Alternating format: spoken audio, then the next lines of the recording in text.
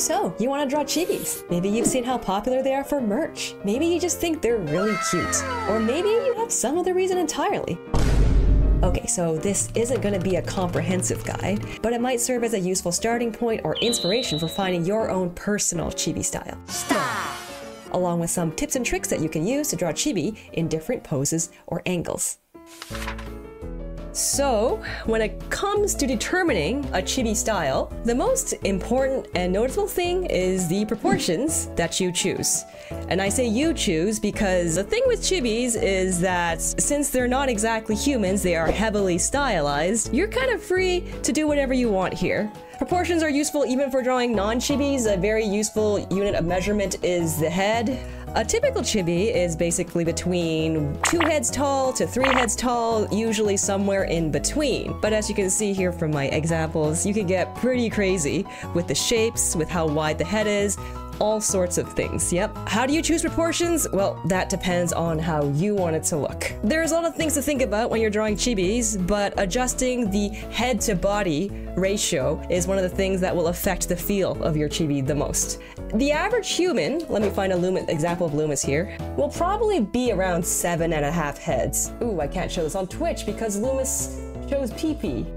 Typical human being is about seven and a half heads tall. Artists like to use eight heads, including me. I just like eight heads because it's nice and divisible, and I can just divide things out and find important landmarks, like for example, the crotch, or the elbows, or the knees, or something like that, right? So for chibis, a good starting point is to make it about two heads tall, as you see right here, you can probably go up to three heads tall, but if you go any higher than that, it'll start feeling a little bit less like a chibi and more like a toddler. But it's really up to you. You can make a chibi that's 20 heads tall. No one's stopping you. Have fun.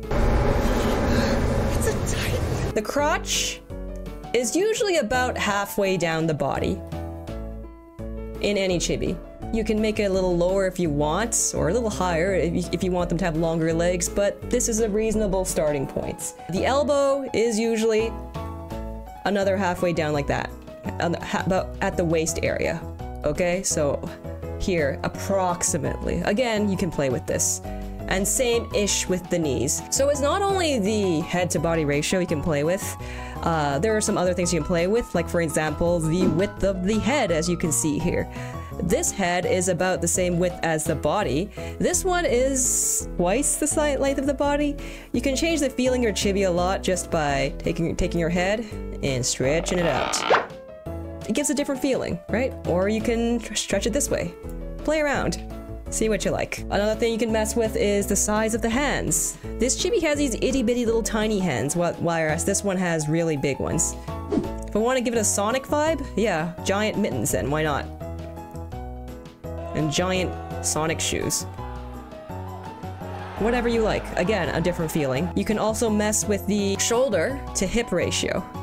Okay, I like to draw chibis that kind of flare out a little bit at a hip with really small shoulders because it gives it that cute toddler look.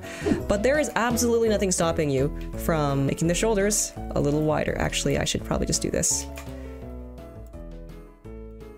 and make it more making it more squarish. That's also absolutely fine. This might give it a more of a mature feeling if you don't want your chibi to feel more too childish, yeah? So on the face, a couple things you can think about is the height of the eyes. I'll use this one over here as an example. Usually on a regular human head, the eyes are halfway down the head. On a chibi, they're typically a little bit lower because it gives it a cuter, childlike vibe, but you can move it back up if you want. That's no, no nothing wrong with that make your chibis look a little bit more mature, or you can go kind of really low down like I did on this one.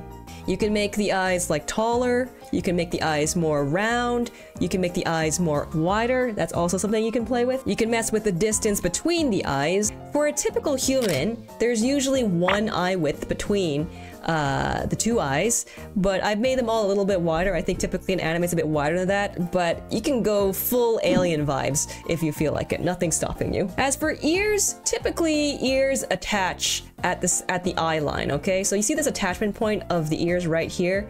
Typically, they will attach where the eyes are, okay? You can, again, play with this, but it's a good starting point. You can also play with size of the nose. You can play with the size of the mouth, maybe just a little dot here and a big nose. It's up to you. Some chibis don't even have noses, as in, for me, I usually don't draw noses on my chibis, so, uh, on chibis, the nose is strictly optional, actually. okay, moving on to details. Now that you've filled in and decided what your proportions are, it's time to add details. So these two heads actually have exactly the same proportions, but they feel different because I've chosen to completely yassify one of them. Personally, I feel like you can draw eyes how you normally would on a chibi and it'll probably look fine.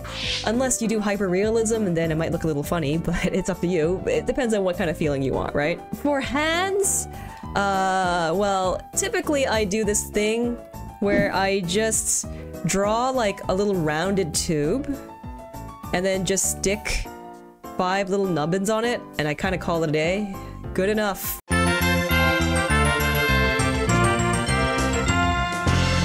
The hands are, you. I usually draw hands really small in a chibi, so they're not really visible. You, but you can stick full-on anatomical hands on them if you want. Maybe just a little mitten, or if you're feeling it, which is my new favorite way of doing it, just do a circle and go full Animal Crossing style. So all of these tips are pretty cool and all, but uh, what if you want to draw a chibi from a different angle that isn't just straight on standing there? Well, that's where you have to learn a little bit of construction because chibis are based off real humans. So the actual best way of learning how to draw chibis from every angle is to learn how to draw a real body. And then you learn all the anatomy, then you learn all the muscles. Well, I'm uh I'm, I'm, I'm kidding, maybe. Okay, I'm only kind of kidding because that's actually the best way to learn how to draw chibis. If you can draw a fully anatomical, perfectly accurate human being, you'll find that stylizing it and turning it into a chibi is not that difficult for you. When looking at a chibi's head, there here are some key anatomical landmarks to consider. Obviously, we have the eyes, we have the nose, or lack thereof, the mouth, and the ears, okay? But uh, two more important landmarks, anatomical landmarks, are over here. You can see it most clearly in the three-quarter view, the brow bone. If you kind of feel your eyebrows, you it kind of protrudes in front of your eyes, right? Over here. So this is the brow bone, and this is the cheekbone. The cheekbone also protrudes outwards a little bit, which is why when you're drawing three-quarters views of any head really, not just chibis, in any angle, you get that characteristic kind of like, it goes out, and then in, and then out again. Brow bone, eye socket, cheekbone. The ears are usually at about the eye line. When you're drawing a side view, usually you can kind of cut this in half. Uh, I kind of put them a little bit too far back actually, but that's okay. And the ear will be about halfway down the side of the head. So this all might be kind of a lot to remember, but I find that a good way to help me remember these details is to just copy someone, right? You can copy this chart if you want. Just copy the anatomical chart and try to kind of memorize the details with your muscle memory. Just have your hand remember them instead of your brain necessarily. And you might want to copy it a few times if that's helpful, but that's one way of learning how to draw head angles. That's basically how I do it anyway. There might be a smarter way of doing it, but I'm not the smartest. So the same applies to the body, okay? I've also done a quick body rotation chart. For the body, we can keep it pretty simple. Typically, even for regular human beings, I like to split the body into a rib cage, which I just draw as a cube or a flattened rectangular prism, the pelvis, which is basically the same thing, and for chibis, the arms, I tend to simplify them, so a, a series of bendy tubes.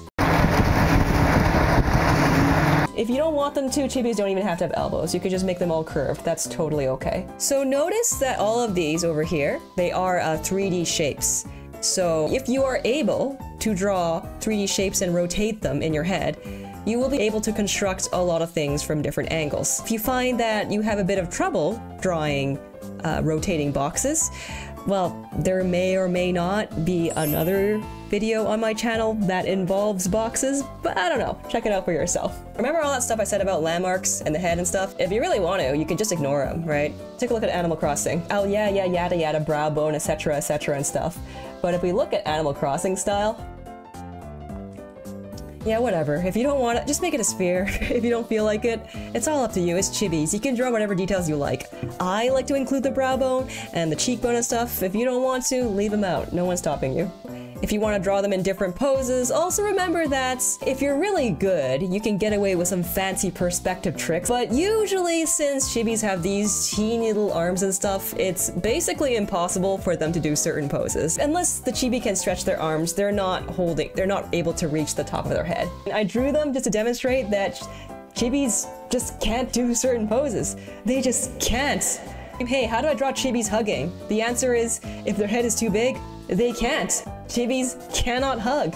It's the saddest thing. They don't know love. If there is a particular chibi style you like, you can always go that you can always like, take it and then just sort of trace over it, all right?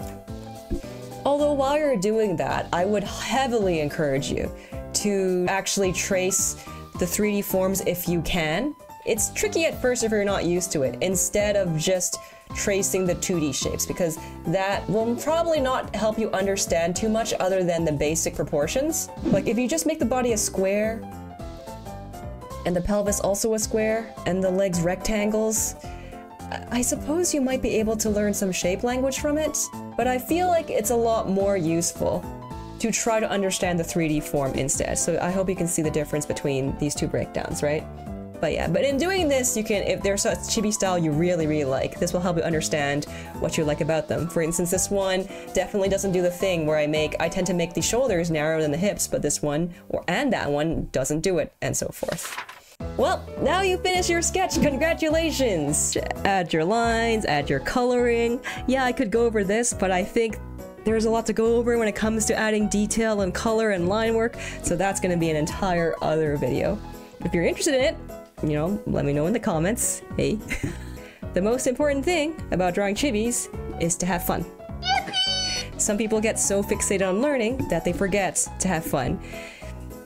I don't know if this was clear, but when it comes to drawing chibis, you can get a lot looser with the anatomy. It doesn't have to be completely accurate all the time, so you can draw the hands as circles if the hands stress you out, so just have fun. I hope you enjoyed the video. It's always so awkward. Do I say like, comment, subscribe now? Oh, I don't know.